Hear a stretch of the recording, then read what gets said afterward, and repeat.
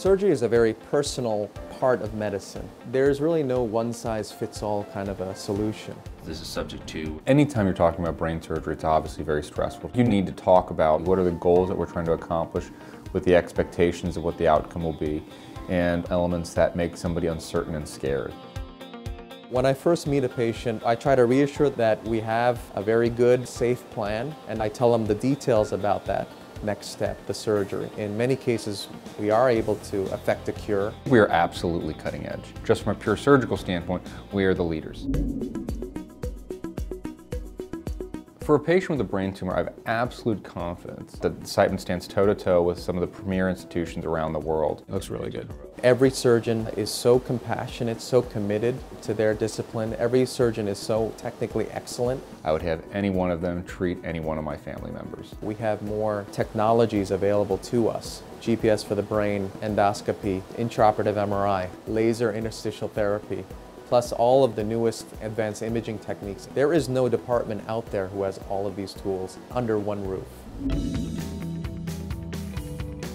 With minimally invasive surgery, we really have taken a leadership role. Through very small incisions, maybe through the eyebrow, through the back of the ear, we can minimize the trauma of the entire open surgery by using these endoscopes. At uh, Washington University Pituitary Center, uh, we have a multidisciplinary approach, and I think the patients love it because they can get an assessment on all fronts, medical and surgical uh, at one time. Some of the innovative surgeries that make us leaders in the field, one in particular is MRI-guided laser ablation. We start the positioning of the laser with our hands through a tiny hole, like a four millimeter incision.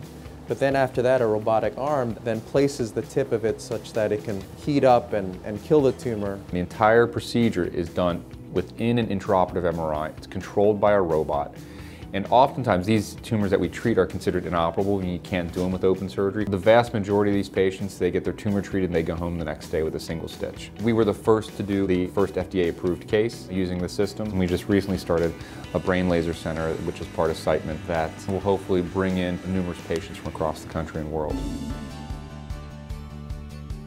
You can tailor your surgery to make it as safe and low risk as possible. So that requires brain mapping. Brain mapping allows you to see a fundamental property of the brain, and that's connectivity. We're interested in which particular areas of the brain subserve language. One way that we do it classically is a task-based functional MRI. So you're in the MRI scanner, you either open and close your hands, you say words, and basically look at the areas in the brain that activate. Or even during the operation itself, we can actually map these areas using these small probes where we have the patient awake and we see if we stimulate this area, does that affect that person's language? using these different modalities, we can figure out where that language area is and purposely avoid that area while we cut out just the tumor.